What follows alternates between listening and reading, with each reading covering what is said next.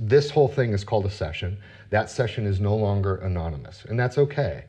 Uh, what we can do is close our browser, tear all this down, and rebuild it again. Hola, mi nombre es Juan Lovell y estoy aquí para ahorrarte mucho dinero con un código de descuento genial.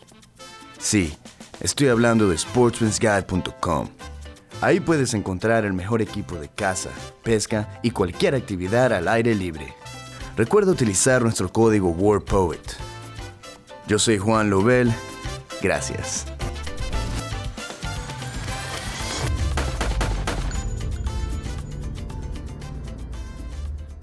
Right, hey folks, welcome back. I've got cybersecurity extraordinaire professional hacker Troy. Troy's my homeboy, and he helps us out with cybersecurity stuff around here. He's here to serve you as well. You have a business, a firm that literally does this for a living, helping yep.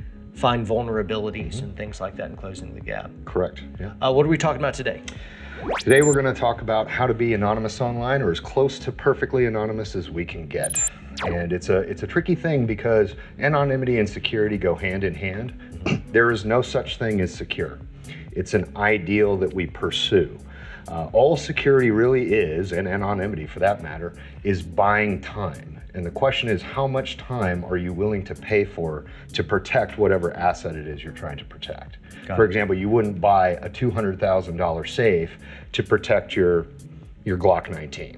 Cool. Doesn't make sense great. And I get the fact of, hey, protect the Glocks, but why really worry about much of this stuff online anyway? If you're if you're doing the right thing and you're not doing anything seedy, why care too much about online privacy, anonymity, that kind of stuff? Well, it's uh, the internet is the wild west. Uh, has been for a while, and things that an average person can do can expose them to certain uh, certain attacks. Online banking is a, is a great example, especially in a business context. Uh, I personally don't do online banking at all. I do all my banking eye to eye with the banker in person, period. Um, I don't like to use ATMs either, just because of what the technological capabilities of, of attackers that, that use those. Uh, but we do live in a free society, and in a free society, I do think that we should have a right to privacy, and not because we're protecting something that is bad or malicious, although it can be used to that effect, but to protect ourselves from other actors. In the same way that we would carry a gun, uh, we have our, you know, our police force to protect us, we have our, our online agents to protect us, but that's not enough. Our responsibility lies with us, and it, it behooves us to take that into our hands. Okay. And I'm going to show you how. Show me how, Jedi Master.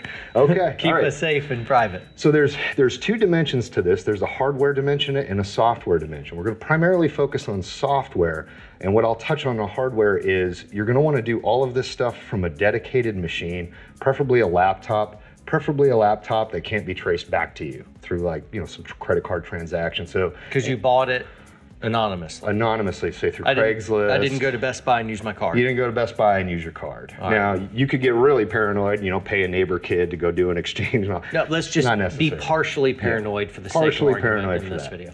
So your, your hardware is important. Make sure that that can't be tied to you. I'd also recommend removing the sensor array. You can look at videos on that, the microphones and cameras and all that sort of thing. You will avoid the warranty if you do buy it new, so your mileage may vary and be careful because these things can be delicate. Uh, that's what I'll say about hardware. Question. So for the hardware thing, of what if about just tape over the camera and then get one of those microphone jacks mm-hmm. to go in the input whatever thing so, that yeah. has like a male female end but nothing plugged into it. So microphones in a laptop are not like your traditional microphones. Of course. All right. Yeah. So no, that doesn't work. Yeah, there's a whole rabbit hole there that we could go down. I recommend not. physically disconnecting them. Mm, yeah. All right. Yep. I tried, guys. Whatever. Jerk.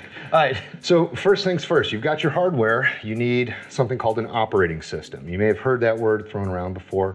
Windows is an operating system, Android is an operating system, uh, Mac OS is an operating system. It's basically the in between between your applications and your hardware.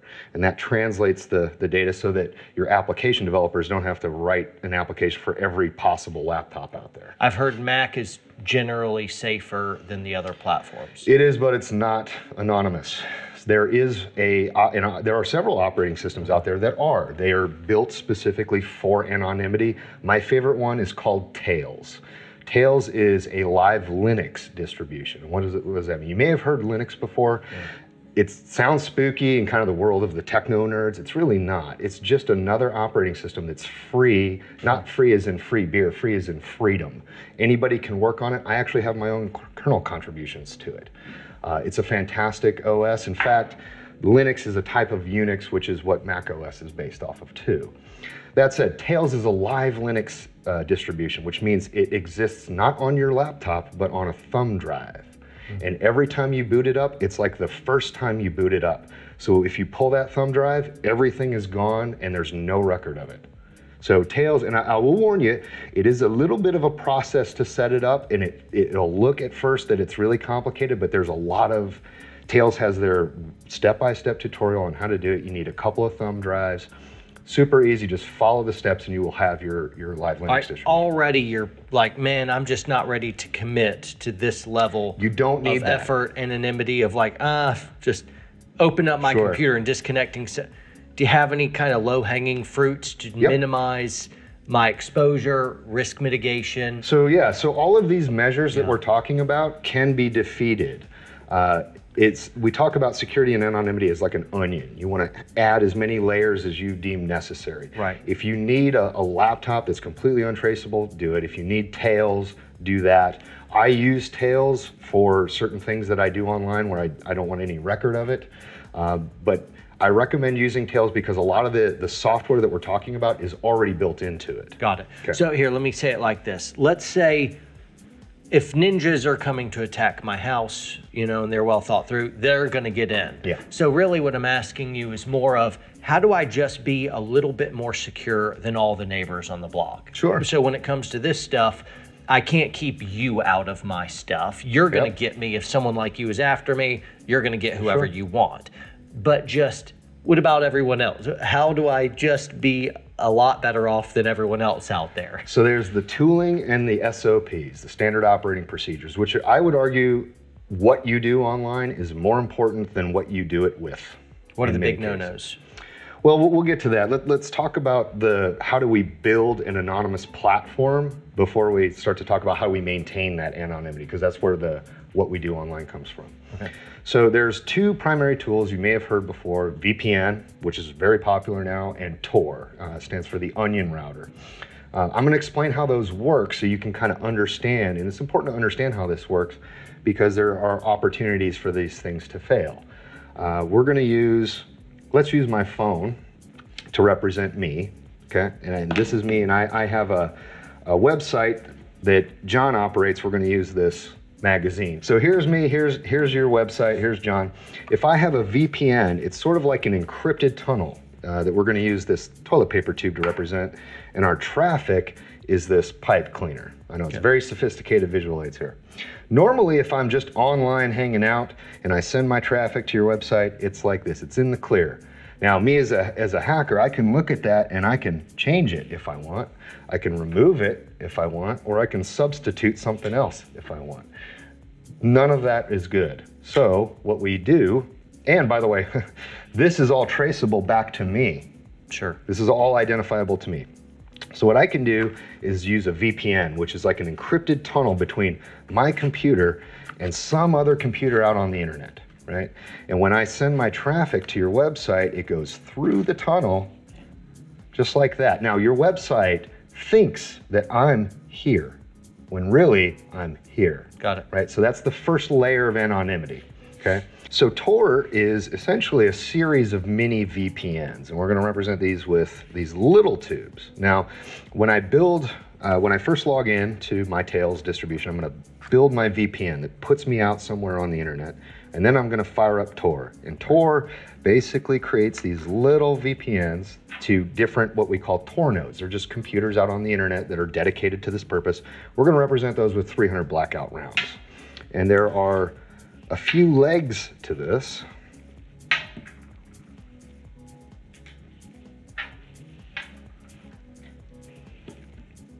Just like that. So now we have, it's a bit of a cybersecurity inception here. We have a tunnel within a tunnel. So our traffic, I don't have a pipe cleaner long enough, but you can visualize it, will go through this little v, this little Tor tunnel. So if I were to attack this VPN, I have another VPN underneath to get through. Very Got it. difficult. Uh, this snakes its way through the network, and by the way, every time you fire up your Tor browser, this little leg system gets rearranged. Got it. So it's important that when you're done with one session, you close that browser and restart it, or click New Identity in All Tor. so you're doing, you're building and getting the tails. I'm like a guy like me. I'm like, I'm gonna get on my phone and be like, ooh, what app, what VPN app is free? Download. Don't do that, by the way. Not all VPNs are created equal. Okay? Got it. Okay, so find a good VPN. What is a good VPN? So uh, a VPN provider, they're based out of some somewhere, right? They're based either in the U.S. or some other country. Uh, there's something called the Five Eyes, Nine Eyes, and 14 Eyes networks. They're basically networks of information sharing treaties. If you really want to be totally anonymous, I know every VPN provider says we don't, you know, we don't uh, record your information. You can't really trust that. Uh, on, if, if you really want to keep away from, say, Uncle Sam, you would want to choose a VPN provider that's based in a country that is not contained in those treaty networks. And you can just kind of Google Five Eyes, Nine Eyes, 14 Eyes. There's all kinds of information about that.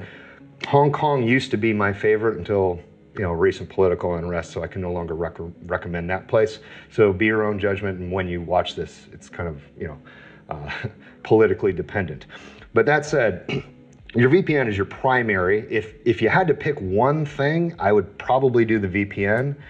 Two things: VPN with Tor.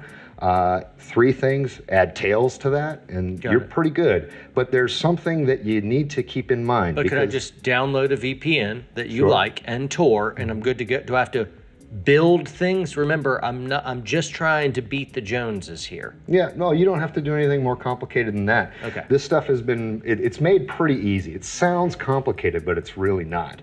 But the more important thing, this is all basic.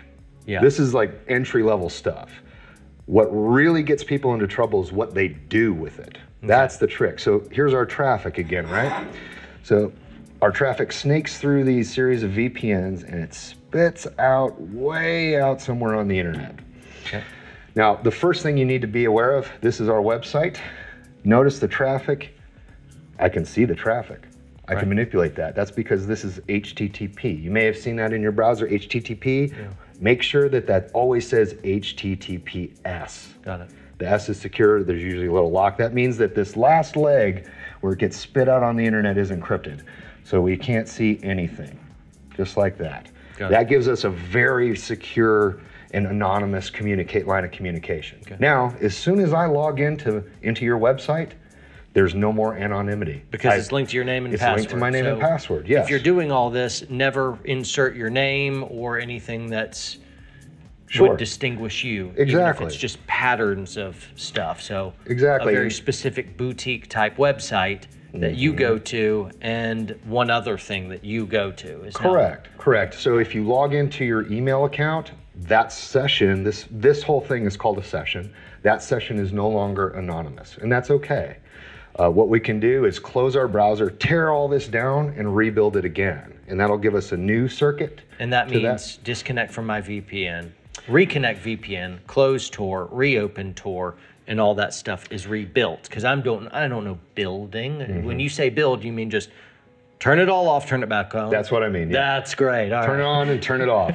It's that Talk- simple. Just talk to me like I don't know anything, because I don't know anything. it's magic. That's what it looks like. you magic. cyber guy, it's magic. Way to go. Way to be really smart. you guys are impressive. So that that's pretty much it. I, I one other thing that I do recommend is if you do go the Tails route, have a Tails because it's so cheap and easy. Just have it for different purposes. I have one. If if I was going to do online banking, I would have one for online banking, and that's all I use it for. I would have a separate one for other things that I do, and so on. Got it. When you do all this, does it slow down your Yes. computer a lot? A little bit. It slows down the network connection because it's got to encrypt things, and you know, it takes a little bit of time, but it's generally not that bad. Got it's it. just a couple of seconds. That's Okay. the price for anonymity. Got it. Nothing's free. Okay, cool. and all of our tech is spying on us at every moment. So there's that. Different ways, yes, that's correct too. Very good. We'll do another video on that. Hey, about that, guys? This is Troy. Troy, thanks so much for uh, showing us all of the things and using something that I can understand. I understand this very, Yep. very well. All right, guys, thanks so much for tuning in. Make sure you subscribe, hit the notifications bell, like, comment, all that good stuff. Share videos, shop Warrior Poet Society because it's awesome. Give Troy a round of applause right now because he's a cyber guy. He'll know whether you did it or not. He's watching you right now. Uh, train hard, train smart. We'll see you next time.